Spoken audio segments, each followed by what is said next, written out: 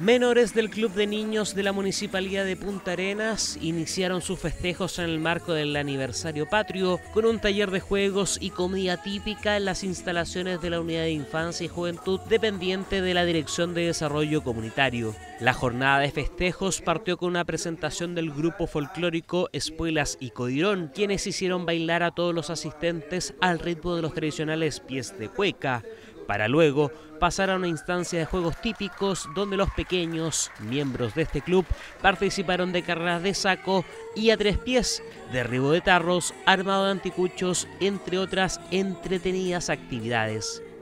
Priscila Bravo, profesional de la Unidad de Infancia y Juventud de la Municipalidad de Punta Arenas, comentó que la actividad fue gratuita y abierta a todos los niños de la comuna. Hoy día eh, invitamos eh, especialmente al Niños de la Ilustre Municipalidad de Punta Arenas a participar hoy en celebración previa al 18 de septiembre. Por lo tanto, invitamos a un grupo folclórico que se llama Espuelas y Codirón y también eh, convocamos a niños de los encuentros de estudiantes, cosa que nos vienen a ayudar hoy día a cooperar como monitores. Estas actividades son gratuitas y abiertas a toda la comunidad, para todos los niños de la, de la comuna.